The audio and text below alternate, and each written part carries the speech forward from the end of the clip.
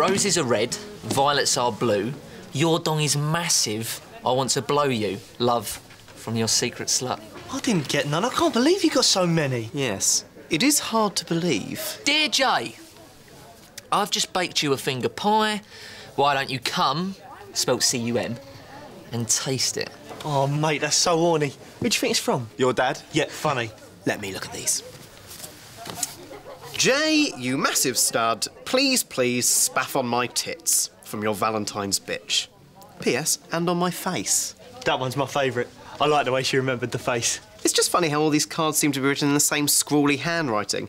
Your secret admirers are either very young or have severe learning difficulties, which I admit is a possibility. Nah, the handwriting's just bad because they were strumming one out as they wrote them. It's not you writing them with your left hand, then? Look, you lot are just jealous because I got loads and you got none. I got a card. If it's from your nan, it doesn't count.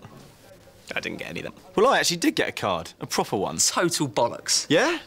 What do you call this then? Interesting. Wow, who's that from? Hannah Fields in the year below. Sniff it to see if she rubbed her fanny on it. Neil. Nah, just a bit of perfume. So, what are you going to do about it? Nothing, apart from making sure Carly doesn't find out.